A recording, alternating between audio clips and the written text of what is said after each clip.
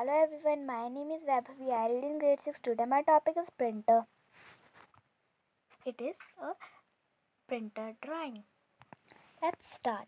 A printer is a device that accepts text and graphic output from a computer and transfers the information to paper choosing to standard size 4.5 by sheets of paper. Printers vary in size, speed, sophistication, and cost. In general, more expensive printers are more frequent printing or high uh, resolution color printing. Personal computer printers can be distinguished as impact on non-impact printers. Early impact typewriter uh, printers worked something like an automatic typewriter with the key shrinking and impressive on paper for each printed character the dot matrix printer an impact printer that the paper align, align at a time was a popular low cost option the best no, the best non non impact printers are the inkjet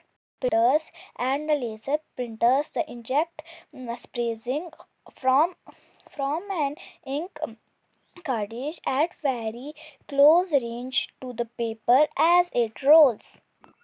By while the laser printer uses laser beam reflected a mirror to attack in called um, called toner to selected paper areas as a sheet rolls over a room. Different types of printer. There are different types of printer, inkjet printer, laser printer, 3D printer, etc. Thank you.